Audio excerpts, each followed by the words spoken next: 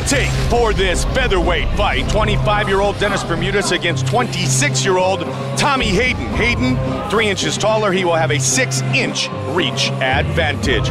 Once again with the introductions, Bruce Buffer. Ladies and gentlemen, this fight is three rounds in the UFC featherweight division. Introducing first, fighting out of the blue corner. This man is a wrestler holding a professional record. Eight wins, one loss, standing 5 feet 9 inches tall, weighing in at 144 pounds. Fighting out of Cincinnati, Ohio, Tommy Wildcard Hayden. And now introducing his opponent, fighting out of the red corner. This man is a wrestler, holding a professional record, nine wins, three losses, standing 5 feet 6 inches tall, weighing in at 145 pounds. Fighting out of Lindenhurst, New York, Dennis the Menace Bermudez. And when the action begins, our referee in charge, Tom Johnson. Tom Johnson will be our referee for this fight at 145. The uh, beautiful Arianny, first ever fight at 145 for Tommy Hayden as he faces off against Dennis the Menace Bermudez. Are you ready, Dennis? You ready, Tom? Let's fight! And here we go. Black trunks for Bermudez. The southpaw from Miami of Ohio. Tommy Hayden in the white trunks. And look out for the big right hand of Bermudez. Is a, a very quick and powerful right hand. Keeps his hands high and tight. Hayden says this is by far my biggest test to date. Knows that Bermudez is an excellent wrestler and extremely explosive. Yeah, he is just a ball of muscle, that dude. Has trained his wrestling at Hofstra with one of the top 185 pound fighters in the world today, Chris Weidman, rising UFC star. Yeah, you want to talk about an impressive performance. How about the fight when Weidman stopped Mark Munoz? I mean, that was just outstanding. And look at this, Bermudez showing all sorts of strength there too. That was just not just wrestling, but physical power, the way he lifted him up there with that single.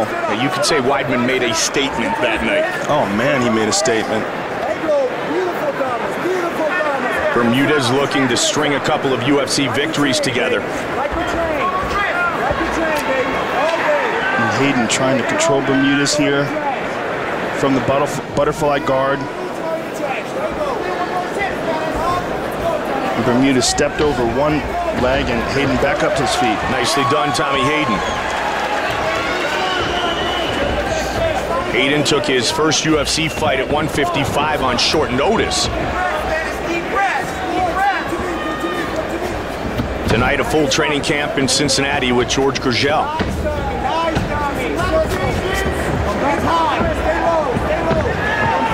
Hayden has only been beyond the first round three times in nine professional fights. Five first round finishes. Tried to he caught Bermudez with a good right hand there. Good sprawl by Bermudez, Joe.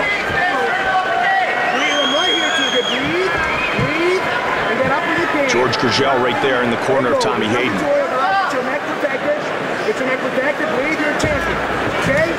Bermudez is holding on to him, resting his weight on Hayden's upper back and shoulders, and he spins to his back, and Hayden gets one leg in between. He's going to roll under and try for a leg bar here. Hayden trying to scramble again. Hayden knee on the way up.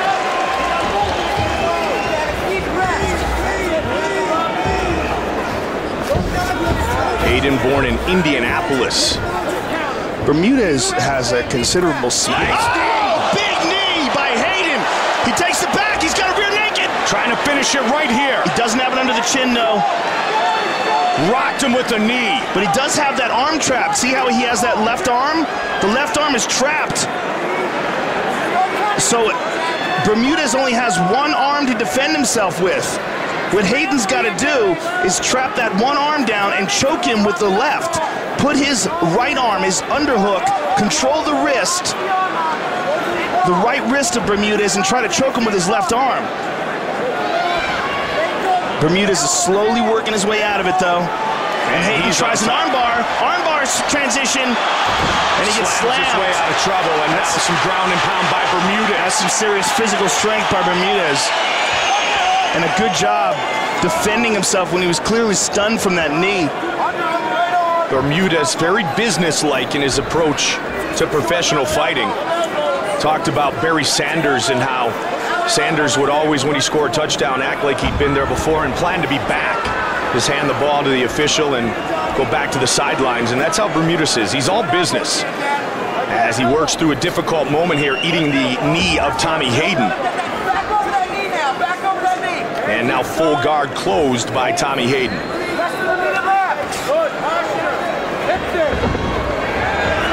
Backed up his wild card.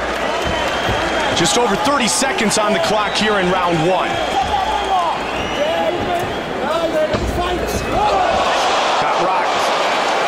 Pushing forward was Bermudez with the kick. Bermudez looking for a choke here, looking for a front choke. He's got the head pinned into his chest. 20 seconds. He's got time. Standing guillotine, that's it, he got it. It is all it. over. Very nicely Dennis done. Bermudez Very able to submit done. Tommy Hayden late in round one.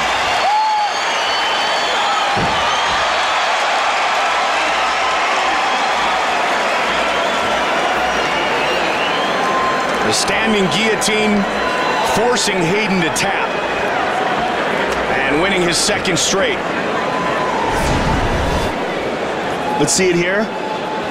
Hayden shoots, and he, he starts it out. It looks like a front choke. Looks like he has it pinned into his chest, and then he gets it onto the side, and then he really cranks it here. Here's where he really gets that guillotine nice and tight, and you see him tapping. And this is what really started it. Front kick, it looked like he got him right in the chest. And here we see one more time. You see it really cranks that nice and tight. Excellent standing guillotine by Mr. Bermudez. The Ultimate Fighter finalist.